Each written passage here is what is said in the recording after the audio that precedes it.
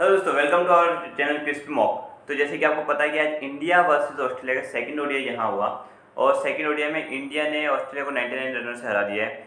और जैसे कि आपको पता है मैच के जैसे ही टॉस हुआ तो ऑस्ट्रेलिया ने पहले बॉलिंग लिया और इंडिया को बैटिंग का न्योता दिया। पर इंडिया ने बैटिंग बहुत अच्छी करी। पहले इंडिया की तरफ़ से जो बैटिंग में बात करें तो शुभमन गिल ने एक सौ चार रन श्रेयस अय्यर ने 105 रन बची कई जो कसर थी, वो आपकी के राहुल ने और सूर्य कुमार यादव ने पूरी कर दी और जिन्होंने के राहुल ने 52 और 72 रन बनाए आपके सूर्य कुमार यादव ने।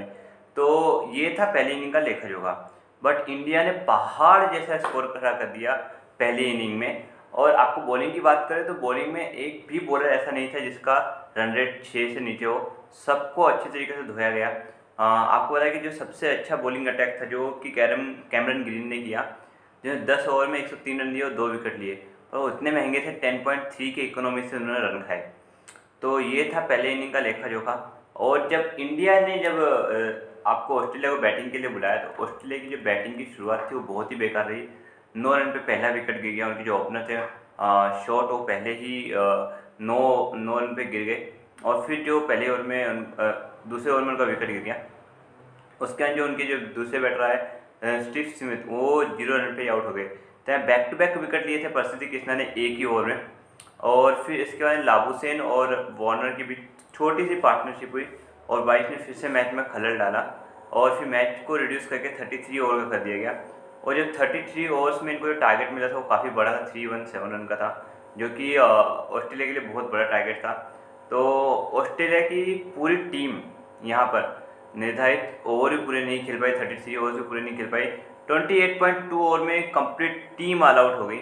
और बॉलिंग की बात करें तो इंडिया के बॉलिंग के जो हीरोज रहे, वो थे रविंद्र जडेजा जिन्होंने फाइव पॉइंट टू ओवर्स में फोर्टी टू रन दे के तीन विकेट लिए और रविचंद्र अश्विन जिन्होंने सात ओवर डाल के इकतालीस रन दे के तीन विकेट लिए और प्रसिद्धि कृष्णा जिन्होंने छः ओवर में छप्पन रन दे के दो विकेट लिए।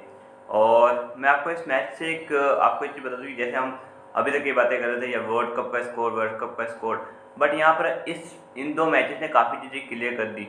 जैसे कि सूर्य कुमार यादव यादव का फॉर्म जिन्होंने दोनों मैच में आपका अर्शतक लगाया।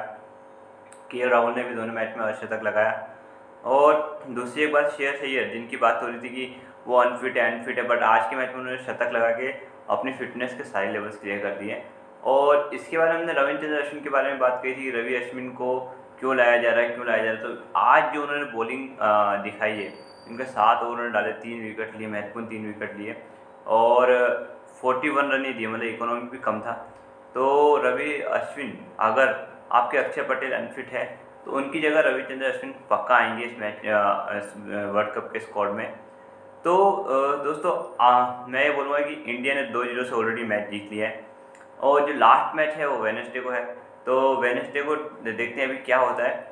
मैं तो बोलता हूँ अगर ऑस्ट्रेलिया को क्लीन शिफ्ट कर दें क्लीन शिफ्ट भी करने वाले हैं, क्योंकि और तीन ज़ीरो से इंडिया हराने वाली है ऑस्ट्रेलिया को। जैसे कि दो मैच ऑलरेडी हरा चुके एक तरफा मैच हुए दोनों।